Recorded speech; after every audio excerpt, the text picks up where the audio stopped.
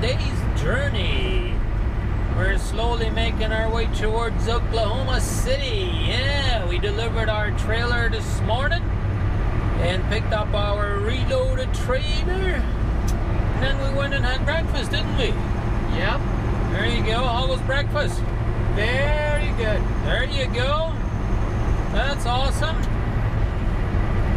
So, now we're uh, just trying to get out of Toronto. Not bad traffic. Not bad. A little bit, but not too bad. But it has uh, been drizzling here for the last couple of hours. It rained overnight pretty heavily. I actually woke up, we had some thunderstorms and stuff like that, but hey, that's the way it goes. But we had us a blast yesterday, and today is back to work. We spent enough money yesterday. yeah, we did a little shopping yesterday, and a little fun going on that CN tower. That was fun. At least I had a lot of fun. How about you? I had lots of fun. There you go. That was something new for you. And I think I just checked out some of the video clips and I think they came out pretty good, some of them. I'm very, very impressed with it anyways. I didn't think my GoPro was going to do that good there, uh, especially looking through the glass there, looking all the way down and stuff like that. So I was very impressed with the way the camera performed. So I'm happy with that. And here we are, making our way to, towards Oklahoma City. We got 1,991 kilometers. It was basically 2,003 kilometers there from the Husky truck stop. We went over there and scaled the load and went inside and had breakfast. We wanted to make sure that the load was legal. We were a little bit on the heavier side. I mean, the bill of lading shows 40,400 and some pounds. But you never know, you know, with that kind of weight, you could uh, be easily overweight on one particular axle, you know? Like that could be the tractor or it could be the trailer, you know? So it's smart idea to uh, scale it. I think we were like 32,000 on the drives and change and uh, we were like 30,000 and change on the trailer. So we got plenty of room, but you know, if I didn't scale it and all of a sudden they loaded it a little crappy, I could have been 36,000 on the drive and maybe 28 on the, uh, or 27 on the trailer. You never know. Or the opposite. I could be like 37 on trailer and 27 on the drives, you know? So it's a smart idea to do it when you're that heavy. And we are definitely legal. Good to go. We got full fuel. I mean, we fueled up there uh, Saturday evening when we got in, so I mean, the truck was idled quite a bit too, so I mean, we used some fuel, but at the same time, we got a good amount of fuel. I think we should be able to make it up to uh, Oklahoma City. Yes, indeed. Let's make our way down. We're still waiting on the border crossing to clear. Still haven't gotten that message yet, but hey, I assume by the time we get to the border, uh, we will have it cleared. I mean, it's another at least three and three quarter hours driving yet for us. So, so yeah, it's going to be a little bit before we uh, get to the border. Just gonna go move back in the right lane here now. I usually do drive in the right lane, but sometimes when you get out of here, there's a lot of traffic coming on and off onto the highway. So it's always a little hazardous uh, being in the right lane up here sometimes. So then I just usually take the center lane and that way you got less hassle to deal with, you know. But anyways, now we're a little bit further out, so now we should be okay. So let's put the hammer down and let's have ourselves a great day. I hope you guys had a fantastic weekend like we did. So that's come and join us for the rest of the trip and we would appreciate that. All right, ladies and gentlemen, we are coming up to the Ambassador Bridge again. Yes, indeed, we are. Yep, we are just about to enter into the United States again. So, let's see how hard it is going to be getting into the States today. I know sometimes they are a little hard over here on us. In two kilometers, take the entrance to the right on I-75. They ask a lot of questions sometimes and bullshit questions and stuff like that, but they still got to do their job. But uh, hey, sometimes it's a little difficult and. But whatever it is, hopefully they'll let us get in the United States and we will let you know if they were hard on us or not. But look at these old buildings up here to the right, eh? I mean, I talked about it before, but I'm so surprised that they're still standing these days, you know? With all kinds of storms and winds going on all the time and all that stuff, you know, they're still standing tall. That is very, very good.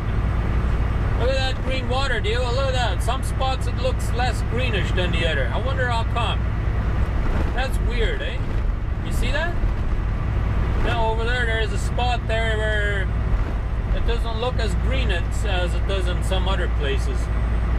Either it's not as deep over there or something is causing the water to look different. But it definitely looks weird. That's for sure. Maybe there's some sewage or something that's being pumped into the into the river or lake up here, and maybe that's why it is, eh? Could uh, could be. Never know. But anyways, it looks like we're coming to a stop up here, so I guess we'll see you guys on the other side. Welcome to Michigan, guys. Yeah. We are now in the United States of America, and we told you earlier were going to tell you if we had a hard time at the border or not. Believe it or not, we had a very nice gentleman there today. Didn't really ask us any question. The only question he asked is what we had in the trailer. That was it. That's the only question he asked. He looked in the system there for a little while and handed us our paperwork back and our uh, passport and fast card. He said, Have a nice day. Very nice guy. That's what I figured, anyways. What do you think? Is he nice? Very nice. That's what I thought. Yeah, looks like we got a chicken house coming up here in a few miles, but it's always been there, we'll see if they're open or not. Yeah, I think we will be making us a pit stop here pretty soon. We need to go use the restroom too, so not too much longer, and then we'll go pay, have a pit stop. So, uh, so yeah, let's get on down the road and uh, make the best of it, right? The main thing was we got across the border pretty quickly. I was surprised too. There was not a long lineup today. Like I mean, we were like there was one truck ahead of us, and by the time we got to the actual booth, uh, we, you know, he was actually starting up his truck and just leaving. I mean, I, I literally barely came to a full, complete stop. I mean, it was uh, just barely, but yeah, I was surprised at that. But anyways, we'll see if this chicken house is open. I can almost see the sign there. It almost looks to me like it's closed. That's good. That's good news. That's exactly what we want to see. Last thing is uh, that we need is some more wasting time somewhere, but I mean, we will probably waste a little bit of time here in a little bit, but hey, we got to do that. But anyways, we'll put the hammer down. All right, guys, it is the next morning. Yeah, we're here at the pilot. Yeah, you can probably see the sign over there. I know it's the next morning. He's still sleeping over there but yeah finish uh, finished yesterday's video I suppose. And I know it's uh, been a bit of a shorter video but uh, I haven't uh, mentioned this at all this last week. But uh, you guys remember last week Monday? Like not yesterday the week before Monday? I got my alternator changed again right? Well when me and my son went out uh, the second night it burned up again. So I was real mad about it.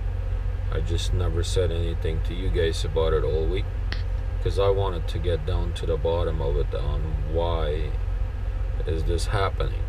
I know we did put an after market alternator on there but it shouldn't happen like this. I mean these are brand new alternators you know like two in a row like I mean in only you know, two days of, of usage of it. So uh, I've been trying to get into a Thermo King all week this last week, but none of them had time. Finally, last night I got one that had time and got me in. And uh, we had it uh, looked at, and uh, we had the alternator changed again.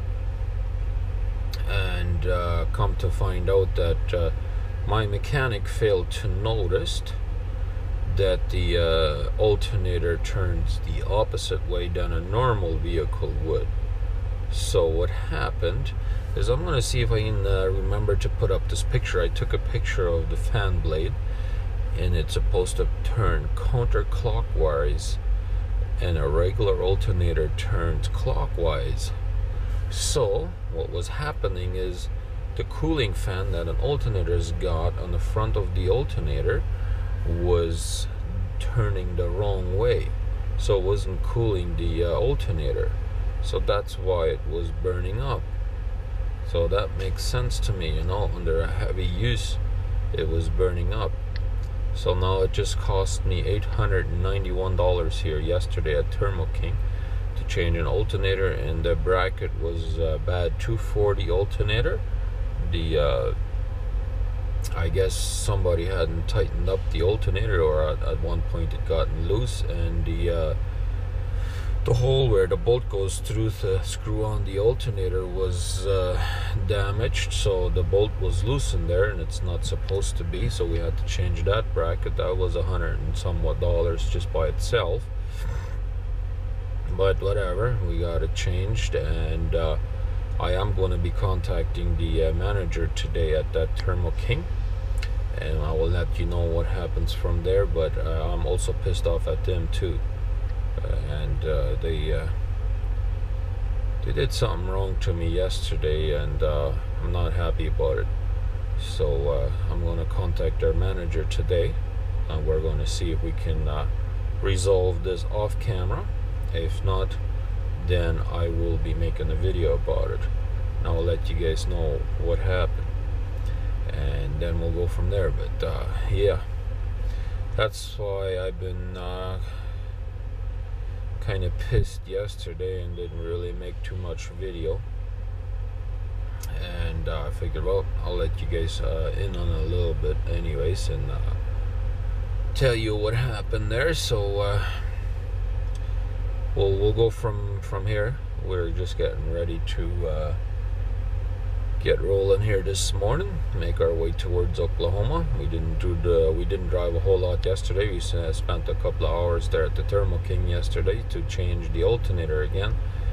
And so it's been costing me a lot of money with uh, downtime. And I mean I took last week's uh, like not this not yesterday Mondays off well it would be today's video that you're looking at but the Monday before. I took that off just so I could get the alternator changed again.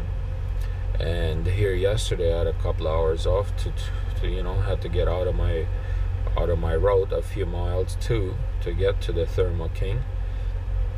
And so it's been costing me money and these guys uh, overcharged me in my opinion. So uh, we're going to see we can resolve that off camera though. But uh, anyways uh, i'm a little pissed off at the whole situation so we'll hopefully we'll have a better day today so let's get this day done with and uh, we'll, we'll try and be more different things tomorrow so stick around and we'll see you then this is trucker Rudi signing out